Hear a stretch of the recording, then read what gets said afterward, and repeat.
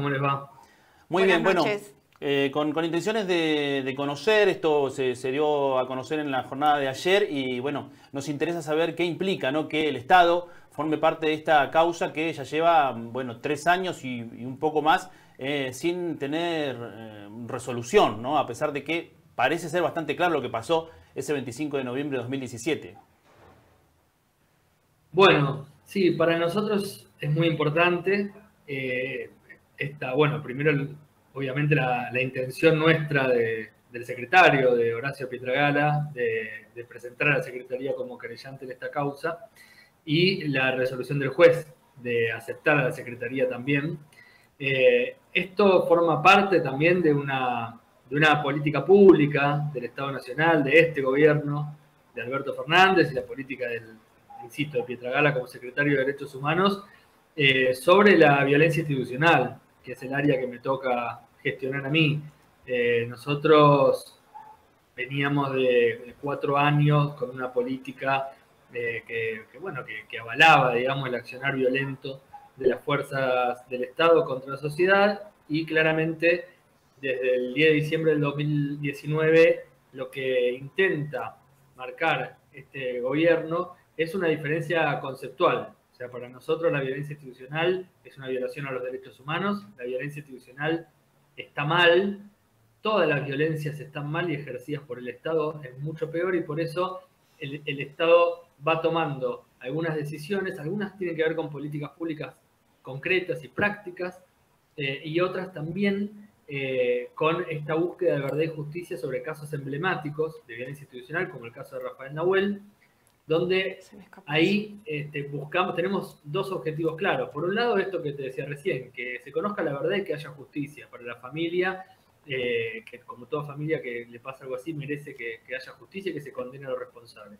Pero nosotros, a su vez, como Estado, queremos llegar a una condena que también sea ejemplificadora de lo que no queremos que suceda. Queremos que estos hechos no se repitan más, queremos que, no, que el Estado actúe de otra manera, no violenta para solucionar los conflictos que hay en todas las sociedades.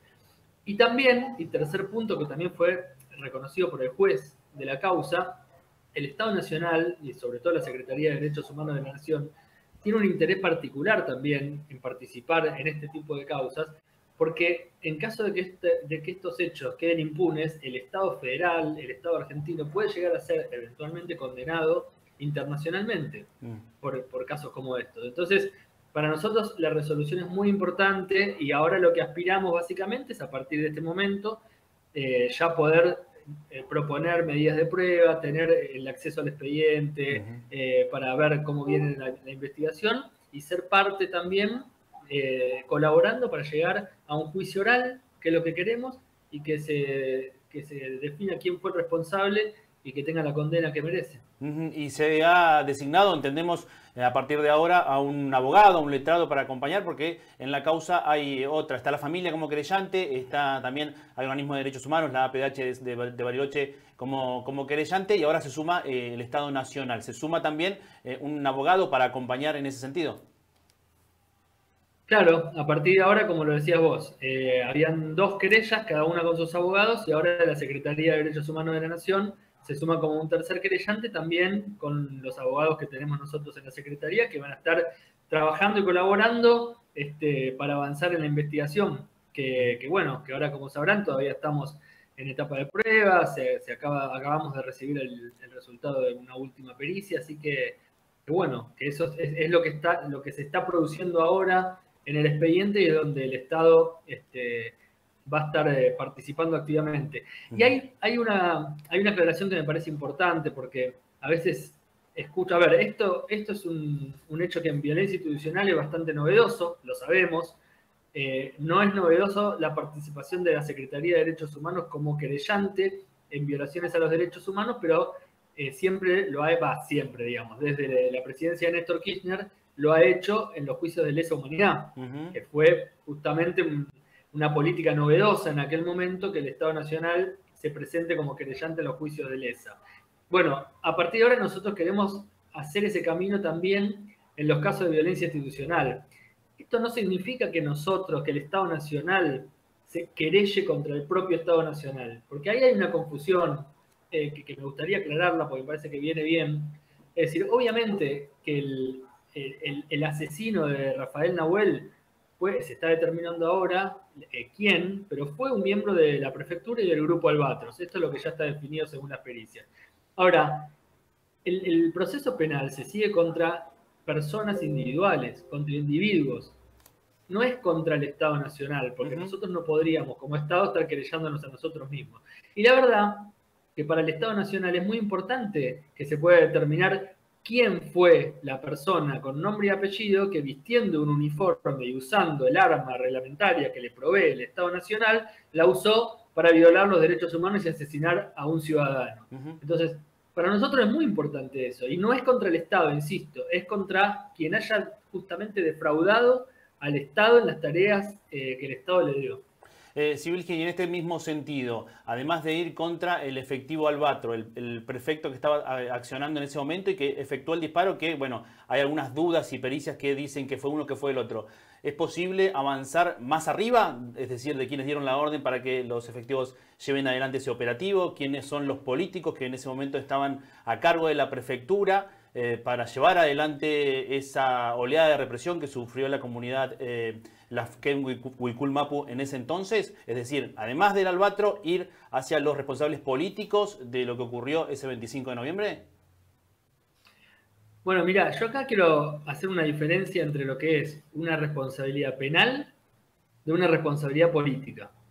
Eh, la responsabilidad penal, ustedes saben que es mucho más exigente. Tenemos que tener un tipo penal que encaje perfectamente en una conducta, tiene que estar probado a nivel de certeza, tenemos que tener un nexo causal, digamos que eh, comprobar que efectivamente en ese momento el funcionario le dio la, bueno, un montón de, cuestiones que hacen a las garantías procesales de, un proceso penal, que habrá que evaluar si, si, si se reúne para arriba en los funcionarios o no.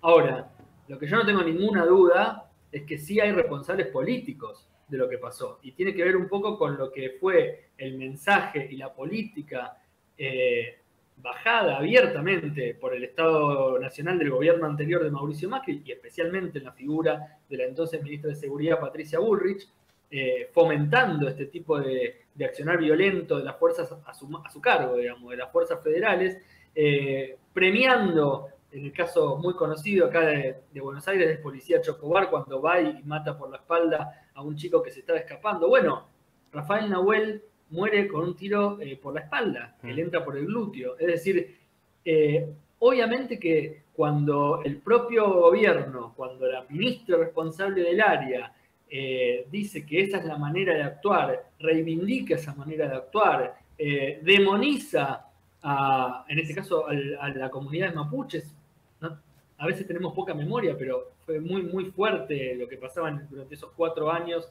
eh, con la demonización también como enemigo interno. Bueno, todo eso, por supuesto que repercute en el resultado que tenemos, en los resultados que tuvimos, en Santiago Maldonado, en Rafael Nahuel, por supuesto. Bueno, eso es lo que nosotros estamos queriendo revertir con, también con señales políticas.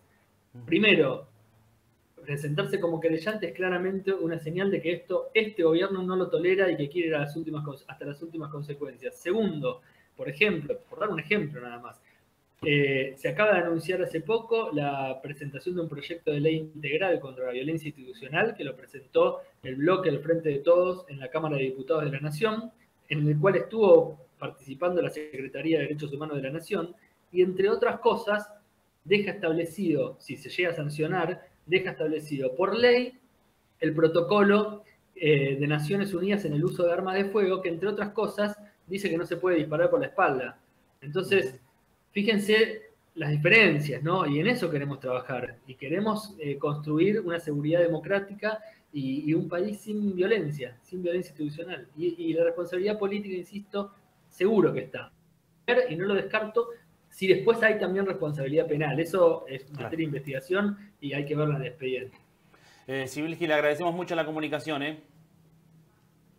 No, gracias a ustedes. Buenas que tenga buenas noches. Hasta luego. Bueno, la palabra